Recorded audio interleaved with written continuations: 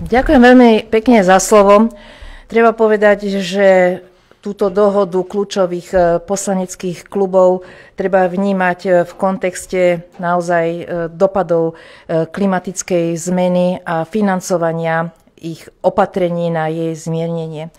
Dohodou, ktorú sme urobili pozmeňovacím návrhom, ktorý bude prednesený o krátku chvíľu v Národnej rade, do vládneho návrhu o zákona o obchodovaní s emisnými kvotami vlastne riešime aj e, procesnú situáciu v Národnej rade, kde okrem vládneho návrhu sú ešte predložené dva návrhy poslanecké. Jeden bol môj s pánom poslancom Vyskupičom a jeden poslanecký návrh pána Karahutu, e, ktorý pojednával v podstate o tej istej problematike. A ešte tu máme ďalší zákon, ktorý nepriamo súvisí aj s týmto zákonom zákon o poplatkoch za znečisťovanie ovzdušia.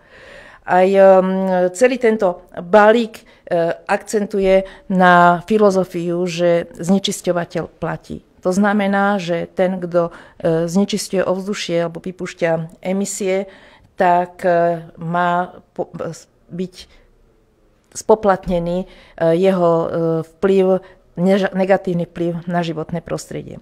Preto sme sa dohodli e, na spoločnom pozmeňovacom návrhu, ktorý bude prednesený pánom predsedom výboru e, v plene Národnej rady a už sme stiahli z rokovania tie dva poslanecké návrhy, o ktorých sa tým pádom nebude rokovať.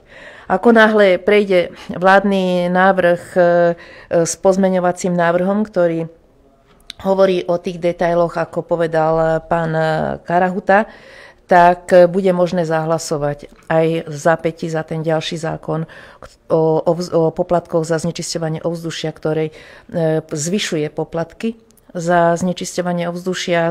Nie, nie je to skokovito, ale postupný nárast e, poplatkov e, tam je. Kľúčom, čo aj ja veľmi oceňujem, je, že pri peniazoch, ktoré sa získavajú z predaja emisných e, kvót, takže tieto peniaze pôjdu tam, kam majú ísť. Nebudú e, znižovať deficit štátneho rozpočtu, kde sa takouto, takýmito praktikami nakumulovalo 1,5 miliardy eur, ktoré mali byť môjho pohľadu mali byť e, aplikované späť do životného prostredia, buď ako e, motivácia e, priemyselným podnikom na to, aby zlepšovali svoje technológie a znižovali svoju emisnú záťaž do ovzdušia, ale aby boli aj použité na tie výdavky, ktoré je potrebné na dekarbonizáciu celého prostredia, to znamená nielen priemyslu, ale aj na zachyty uhlíka v krajine.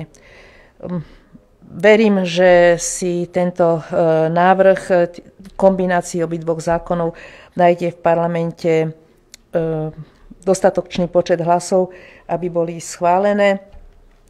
Účinnosť zákona vlastne v niektorých častiach bude dňom vyhlásenia a tie percentuálne prerozdelenia podľa pozmeňovacieho návrhu budú mať účinnosť od 1. januára 2024 čo je tiež dôležité z toho dôvodu, že e, je dostatok času na to, aby sa upravila aj schéma štátnej pomoci, e, ktorá e, v súčasnosti definuje nejaký okruh priemyselných podnikov, ktoré mohli túto štátnu pomoc získavať, ale presne ako bolo povedané, smernica hovorí o ďaleko širšom širšej skupine e, podnikateľov, ktorí by mohli túto štátnu pomoc získať a, a bude to dva v jednom.